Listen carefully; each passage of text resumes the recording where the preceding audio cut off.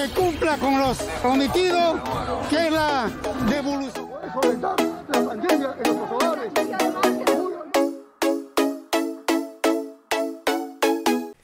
¿Qué tal hermanos? Bienvenidos a un nuevo video en su canal Luchicon y el día de hoy les quiero compartir esta noticia miércoles 29 de marzo del 2023 y es que con nueva sentencia del 13 ya no habrá más trabas y comenzará la devolución de aportes al menos con un adelanto para este año.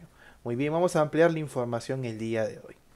Dirigente Fonavista está de acuerdo con la sentencia 016-2021 del Tribunal Constitucional que declara fundada en parte la demanda constitucional interpuesta por el gobierno que declara justamente la inconstitucionalidad del artículo 3 de la Ley 31173 devolución de aportes. La situación de los ex contribuyentes al FUNAVI es tan grave que lo único que necesitan es que se haga justicia y de inmediato se inicien los pagos.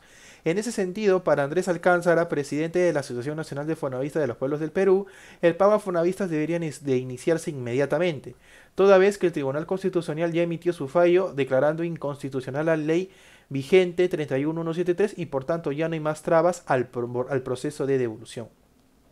El dirigente Fonavista está de acuerdo con la sentencia 016-2021 del Tribunal Constitucional que declara fundada en parte la demanda de inconstitucionalidad interpuesta por el gobierno que declara la inconstitucionalidad del artículo 3 de la Ley 31973, la cual en su opinión era totalmente fraudulenta y engañosa, que de ninguna manera garantizaba el pago completo a los fonavistas. Por el contrario, he quedado demostrado que dicha norma ha obstruido por más de dos años la devolución impidiendo que se les pague a los fonavistas. Para Alcántara, este proceso ya no estará paralizado y se le dará continuidad conforme a la única norma vigente para la devolución de los fondos fonaístas, de acuerdo a la ley 29625 aprobada por referéndum y a los parámetros establecidos por el Tribunal Constitucional en sentencias anteriores. Este es un momento histórico porque damos reinicio al proceso de devolución del dinero de los fonaístas de acuerdo a la única ley de devolución del FONAVI, la 29625. Con el fallo del TC por fin se ha dejado de lado la 31173 engañosa que prometía garantizar la devolución con el complemento de la ley 29625, pero su contenido claramente se advertía que tenía como propósito paralizar el proceso de devolución.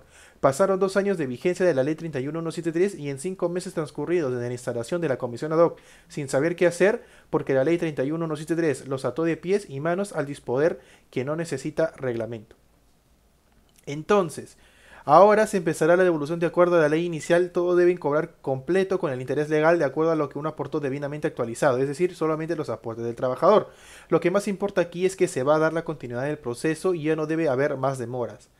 Pero, según el otro gremio Fonavista, el fallo del TC los perjudica porque ahora solo se considerará únicamente el aporte de los trabajadores, más no de los empleadores. Tenemos entendido que solo queda un fondo de 6 mil millones de soles y se descartan los 42 mil millones de soles que eran la deuda total.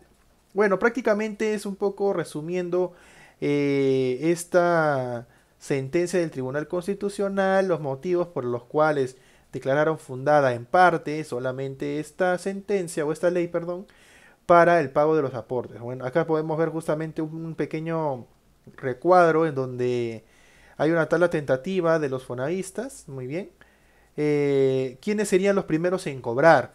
Primero serían los fonavistas que ya están en la data de las microfichas de la ONP. Ellos serían los primeros. Los segundos serían el millón ciento mil fonavistas que ya están inscritos y que cobraron en las 19 listas anteriores. Número 3.